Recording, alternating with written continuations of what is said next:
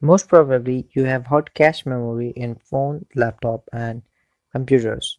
Cache memory is extremely fast and small memory that is placed in between CPU and main memory, as you can see in the screen right now.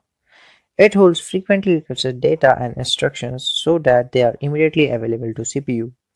Whenever CPU needs to access memory, it first checks the cache memory, then the CPU moves into main memory. When CPU refers to cache memory for information and finds information stored in cache memory, it is said to be that it produces a hit. If the information is not found in cache memory, it is in the main memory and it is called a miss. And performance of cache memory can be measured in a quantity called hit ratio, which is the ratio of number of hits divided by total CPU references to memory. That means hits plus misses. Cache memory is generally integrated directly into CPU chip or placed on a separate chip which has a separate bus interconnected with CPU. Hence, cache memory is faster as it sits closer to central processing unit or CPU in comparison to RAM. Cache memory is also generally smaller than RAM as it only needs to store data that CPU relies on for future operations. I think one question has come to your mind now that if it is extremely fast, why not replace all types of storage with cache memory? So it is not possible because cache storage is limited and it is very expensive for its space. And this provides the reason to use it for data which we need instantly and leave other things for RAM. Now there are three main levels of cache memory.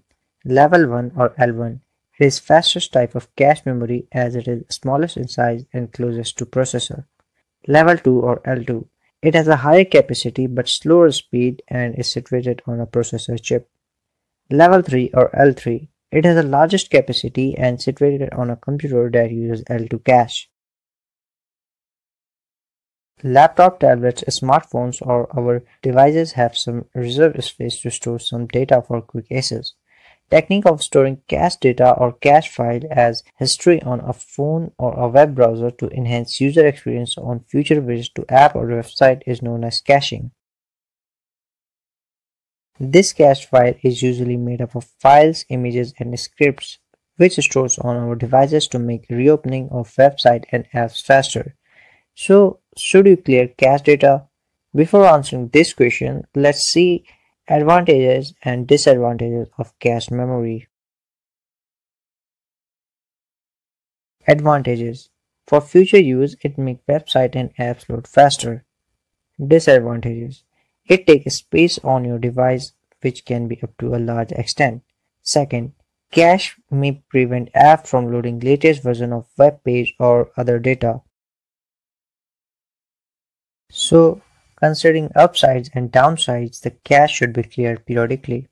And if you are running out of storage, clearing cache can help you a bit for a while.